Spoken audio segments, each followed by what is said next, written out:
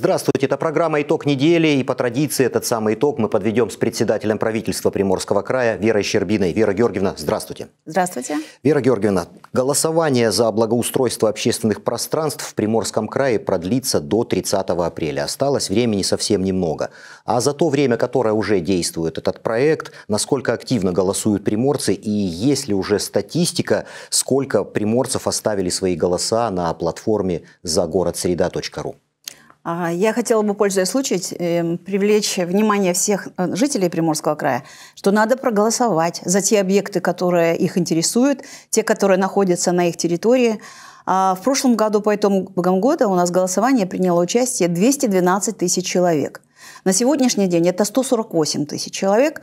А до 30 апреля, как вы сказали правильно совершенно, будет голосование. Еще есть время, но нужно поторопиться, потому что на основании э, этих голосов как раз будет приниматься управленческие решения по финансированию объектов, которые наберут большее количество баллов. А какие территории в Приморском крае являются лидерами по активности населения в этом голосовании? И почему именно люди с этих территорий голосуют активнее всего? А вы знаете, как ни странно, наиболее активные у нас даже не города. Это вот Харольский муниципальный район, это ну, небольшие города, такие как Дальнереченск, Затофокино, Чугуевский городской округ, Спаск дальний. Ну и Находка в этом году тоже у нас выбилась в лидеры. Ну как-то немножко отстает Владивосток, Уссурийская. Я считаю, что как-то негоже крупным таким городам не участвовать в голосовании. Я думаю, что нужно. И а, лидеры по голосам вот на сегодняшний день это сквер сквер по улице Краснозаменная, город Уссурийск. Это сквер э, по Борисенко в городе Владивостоке. Это площадь Ленина в городе Артеме. Это сквер в Ливадии. Вот они сегодня имеют больш, большее количество голосов, но э, имейте в виду, что голосование еще не закончилось, поэтому нужно вовлечь еще и всех заинтересованных, чтобы проголосовали за тот проект, который вы считаете наиболее важным. Ну, точно такое же голосование в Приморском крае было и в прошлом году. А вот какова судьба объектов, за которые приморцы проголосовали тогда, в 2023?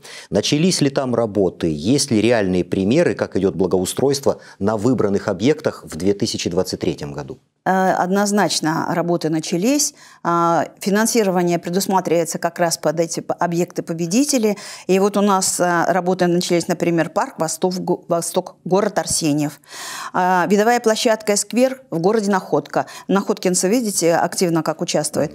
И победитель всероссийского конкурса, который проводился у нас здесь, и а, присутствовал здесь Мишустин Михаил Владимирович в прошлом году, это благоустройство рекреационной зоны русла реки Озерный ключ ключе в городе Артеме. Это крупный объект, на котором а, ведутся работы, но в силу того, что а, такие устойчивые температуры только начинаются у нас, а, поэтому эта работа будет более активно вестись как раз вот в весенний и летний период. А объясните, разъясните нам, жителям Приморского края, механизм финансирования этих проектов. Откуда берутся деньги, как все это оплачивается? Ну, комфортная городская среда, вы знаете, что это национальный проект, и национальный проект финансируется из федерального бюджета. Естественно, мы выделяем свои собственные ресурсы, но и органы местного самоуправления тоже выделяют средства местного бюджета. Но мы все заинтересованы в том, чтобы наши города, населенные пункты, села и поселки выглядели достойно, чтобы они были благоустроены. И хочу сказать, что в текущем году на эти цели у нас в бюджете 2,7 миллиарда рублей то есть это немало.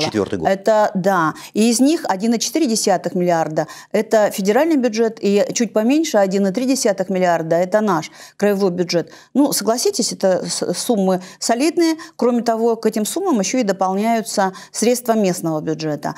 А средства все, как правило, передаются органам местного самоуправления, поскольку они являются заказчиками. А там проходят торги, а, активно вовлекаются управляющие компании, товарищества собственников жилья, мы сейчас еще работаем даже с жилыми домами, которые не являются муниципальными, это и военные городки, то есть они тоже у нас активные участники наших многих программ, и вот там, где активные жители, они также получают от нас финансовые ресурсы.